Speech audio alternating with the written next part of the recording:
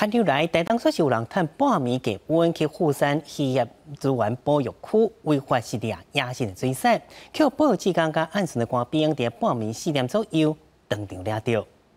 一月二十三号凌晨，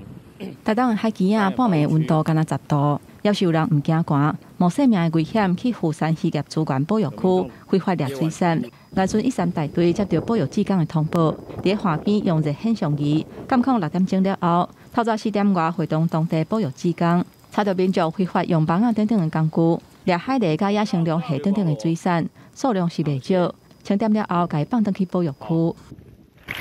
还有龙虾。直到今天凌晨四点，发现该名男子返回岸际，且违规采捕事实明确后，立即进行取缔。现场查获违规采捕渔获，既有龙虾、螃蟹等水产动物。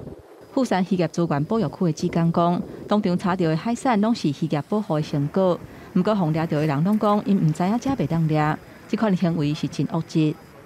诶，他是说几乎都是这样子的，都是说，呃，不知道这个区块是保育区的啊，但是这区块已经运行很久很久的时间了啊，那都是我们当地的职工努力的的之的努力之下啊，才有今天这个资源。海巡署当部分署第一三华巡队强调讲。富山渔业主管保护区，第十九年前就公告禁止掠野生水产，动植物一直到达，民众违法的事情明确，相当会当以渔业法罚十五万，呼吁民众唔通违法掠水产。记者综合报道。